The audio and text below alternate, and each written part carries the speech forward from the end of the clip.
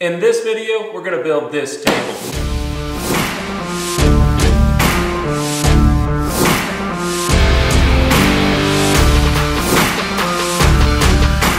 Before we jump into this build, I wanna go over some of the specifications and things that I've done so that maybe later down the road, you can build a table just like this one or completely different. So to start off, the tubing that I use to make this is three inch by three inch with an eighth inch wall thickness. I love working with bigger square tube. I find it way easier to line everything up. It wants to stay still when you're actually moving it around. I just like three inch tube. So that's just a personal preference. I've also put a two inch overhang all the way around this table. I've done it so small specifically that over time, it doesn't want to bend down. It seems like the edges of your table are the first thing to bend. Now, notice that these legs are all the way to the ground.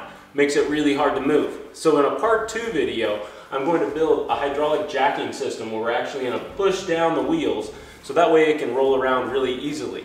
Right now, I do have wheels on the other side so that I can move it around, but it is far too heavy to do that. The tabletop is three feet wide and six feet long and three eighths thick. You'll notice on the long side that I have two hitch receivers. These are going to be for accessories that I'm going to build later down the road. Things like I'm going to have a mount that put, I put a vise in here, maybe a magnetic vise, um, maybe a drill press, maybe a belt sander that's mounted, um, or I could even do an extension to the table off of these because they run the entire length and also give more support to the center of my table. Once all those accessories are built and I have more time, I'm going to actually build a whole racking system underneath here that is made out of a bunch of receiver hitches so I can slide it all in and they'll be all stored really nice. Because again, I have a size issue, which is the reason that I've made this table smaller than 4 by 8 is because I need to be able to pull in a truck into my garage. Now the overall height of the table is 36 inches, which I personally feel is the perfect working height. And ultimately, that's everything you need to know. So let's go ahead and start building this. So the first thing I do is I usually just take my square. I usually just use a framing square. I like it a little bit longer, so that way when I'm trying to line up the top here, and I put it up here, get the first one square, and then I go in through and I just uh, do cross measurements, make sure that it is a perfect square. You wanna get it within like 30 second of a cross square. So that's my goal, and this is how I do it.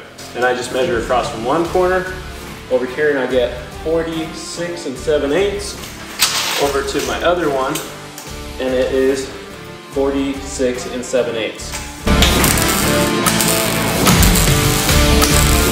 Now I'm going to go ahead and do my cross measurement again, 47 and 7 eighths, 47 and 7 eighths. Okay, so now I'm just going to go ahead and add some more tacks up, up at the top, down here at the bottom. Go ahead and flip it over, tack it some more, and then we're just going to weld it out.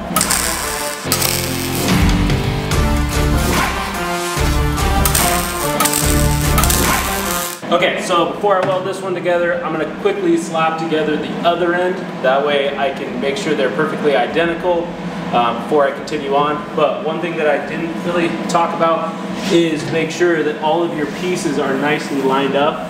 If you want your end product to look really good, making sure that there's no steps from piece to piece is really a, a good like habit to get into. Some of the things that you can do if you want to make sure this happens is you can just take your square put it on here, make sure there's no rock. You can also go from corner to corner like this. I, I hate it when I see a square tube that's kind of twisted inside of a frame. Just drives me nuts. Um, and this is just an easy way to go through make sure they're all super nice. So let's get that other one knocked out and then we'll go weld them both up. I went ahead and I pre-drilled some holes. I don't know if you can see these. These are just three quarter inch holes for the jacking system because this side is going to be taller and these legs will go ahead and meet the ground to give us that resistance when we're working on the table.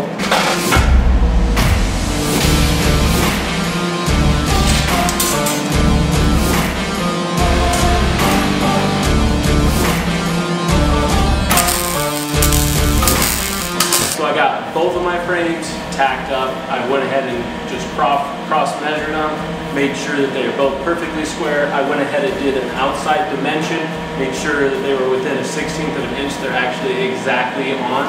I think that's uh, kind of the, the proof of if you do nice measurements, lay everything out, take your time. I think I probably have about 30 minutes wrapped up in building or tacking both of these frames. So now I'm just gonna go ahead and actually weld them out real quick, see if I got enough gas to finish up these ones.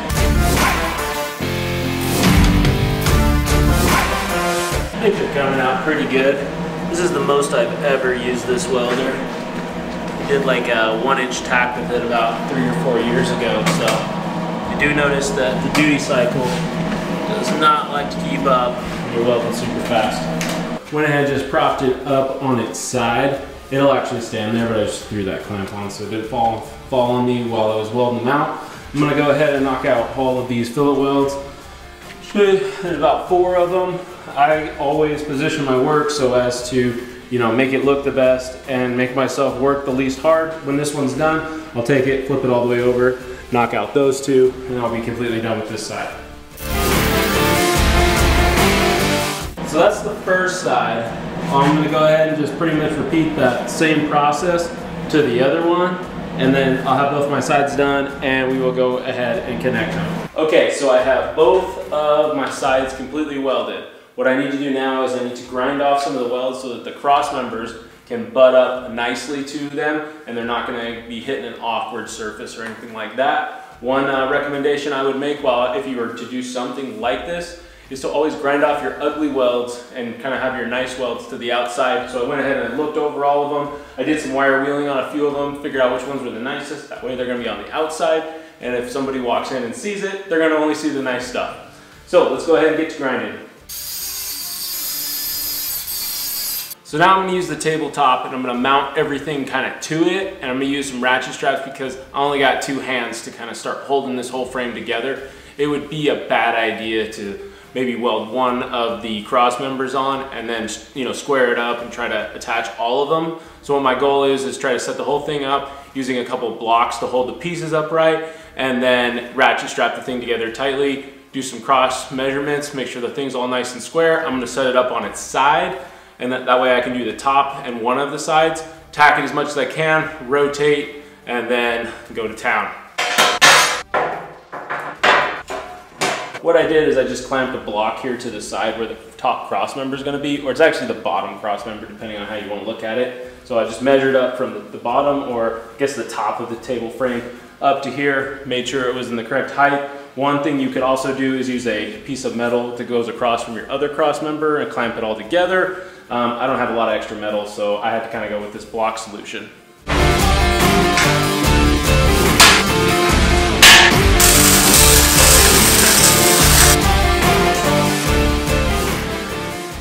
Again, using these same plates just as a shelf, so that way when I go ahead and set my piece up there, I'm able to just set it right in, and then I'll be able to adjust it around where it needs to go.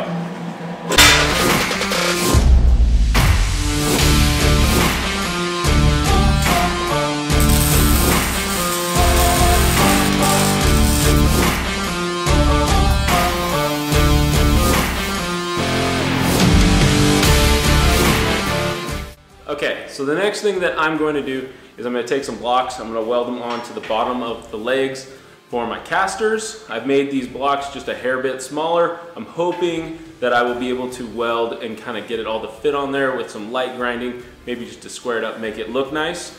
And then I'm going to take my casters, I have to cut down the actual caster bottom just a little bit so it fits on here. I hate that look where they're just wider than the leg. So I'm gonna do some work on them, get them looking nice and get them welded on.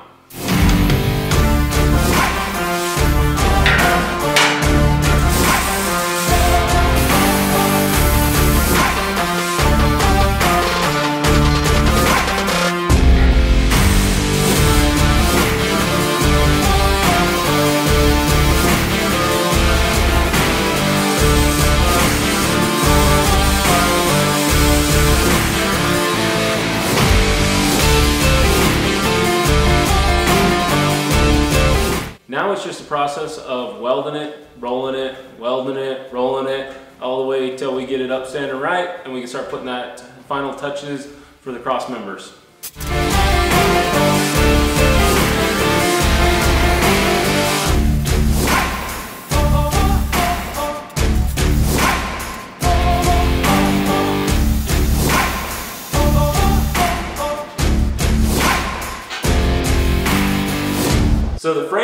Done, we're gonna go ahead and we're gonna notch out part of this tube so that we can recess this part of the mounting system for all of my bench grinders and belt sanders and maybe even a drill press.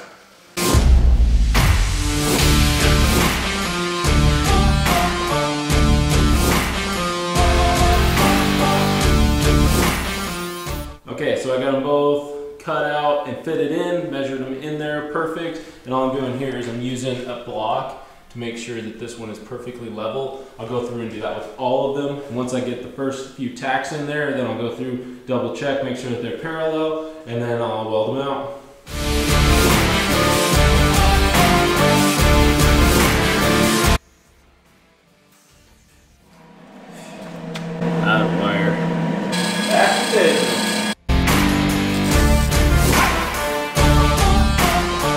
Figured I better show at least one of these overhead welds, that way everybody can see, turning out nice. It's gonna look super good when it's all painted. Cross members are completely put in, welded up, everything looks super good. So what I'm gonna do now is gonna run over all the welds with the wire wheel, make sure that there's no spatter or slag or anything stuck on them. That way when I go to paint, it doesn't flake off underneath the paint. It's kind of a nice clean way to make sure everything looks professional and is done nice. And then at that point, I just gotta slap the tabletop on and I'm done. So I'm ready to paint now. And what I've done is I just took some tape, went ahead and put it on a couple corners. I probably did way more than I needed to. Because when I put the tabletop on, I'm just gonna reach in from the underside and tack it on there. You don't really need a lot holding it down, but I don't wanna have to fight through paint underneath there to get my welds in. So I'm just gonna put some tape on there, shoot all the paint over top of them, peel the tape off, put my tabletop on, and I'm gonna be ready to weld it. What I did is I just pulled the wheels off, put it up on some stands or some, some blocks, they're not really stands, and we're gonna go ahead and primer and paint. If I had to make one suggestion to you guys, if you're making or fabricating anything, always primer. The primer really smooths out a lot of things and makes your paint look significantly nicer. So take the time, spend a couple extra bucks, primer.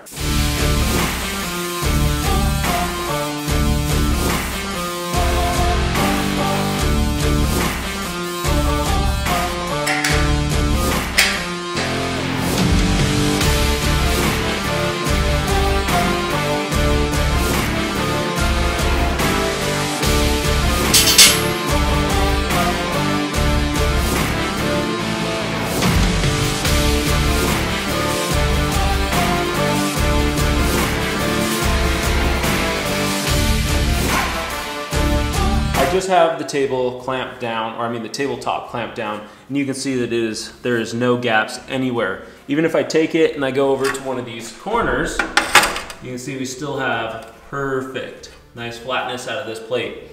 So now I'm gonna go ahead and weld it down. Sure I do roughly one inch tacks all over the place, making sure that if I hit the top with a hammer, it won't rattle.